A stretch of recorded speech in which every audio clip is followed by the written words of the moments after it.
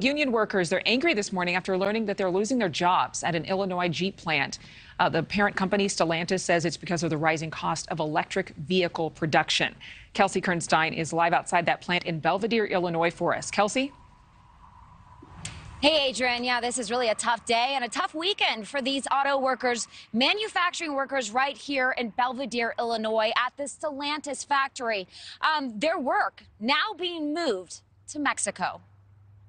The automaker behind several iconic American brands, including Jeep, Chrysler, and Dodge, announcing it will halt production at a Jeep manufacturing plant. Stellantis sharing Friday the move will leave more than 1,300 workers at the Belvidere plant laid off. The Amsterdam-based automaker is reportedly moving production to Mexico. In a statement, Stellantis says, quote, our industry has been adversely affected by a multitude of factors like the ongoing COVID-19 pandemic and the global microchip shortage. But the most impactful challenge is the increasing costs related to the electrification of the automotive market. In recent years, the Belvidere plant has seen regular staff cuts, with Stellantis reducing its workforce from more than 5,000 in 2019 to zero by March of 2023. The plant's UAW shop chairman, Timothy Ferguson, says Stellantis is trying to avoid violating a recent bargaining agreement. Now that they finally have made an official announcement that they're, you know, going to essentially idle us, which is, you know, a, a,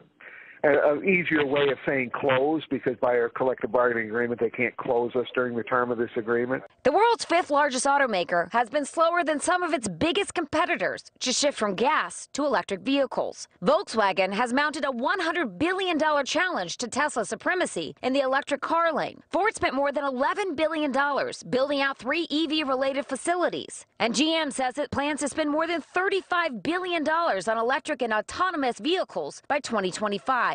Despite the layoffs at the Illinois plant, Stellantis has a plan that includes $7 billion in investments in EVs. And this Stellantis assembly plant, it will go idle by the end of February. Um, and lawmakers are really working with Stellantis to try to give initiative for them to have more, uh, bring more jobs here.